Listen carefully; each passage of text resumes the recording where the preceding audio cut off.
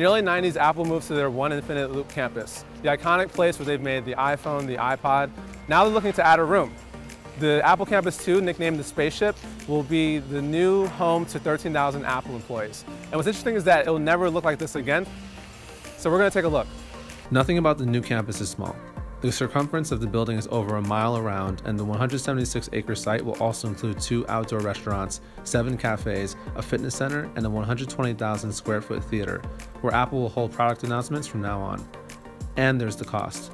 The company won't confirm the price tag, but the project is estimated at $5 billion. But all these big numbers aside, Apple is looking to lead the way in the campus's design.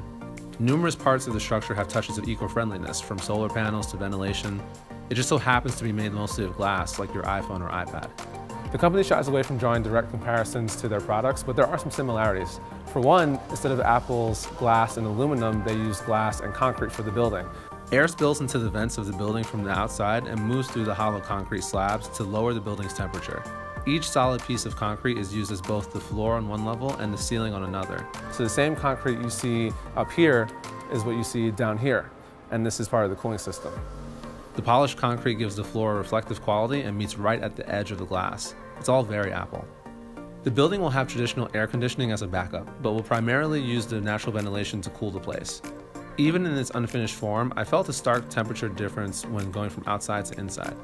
But more interesting than the concrete are the 3,000 panes of glass used to make the building. Over 900 panes for vertical, 1,600 for canopy, and about 300 for clerestory and skylight glass. These vertical panes are thick, way thicker than the glass used in your iPhone.